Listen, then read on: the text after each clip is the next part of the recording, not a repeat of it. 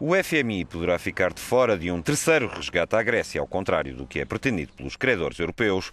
Os níveis elevadíssimos da dívida grega e o pobre historial na implementação de reformas desqualificam Atenas de qualquer ajuda por parte do Fundo Monetário Internacional. A notícia foi avançada pelo jornal Financial Times, que afirma ter tido acesso a um documento estritamente confidencial dos técnicos do FMI. Segundo esse relatório, o fundo poderá participar nas discussões, mas só poderá juntar-se oficialmente às negociações e participar num novo resgate numa segunda fase, depois de a Grécia aceitar um conjunto abrangente de reformas e de os credores europeus aceitarem um alívio da dívida.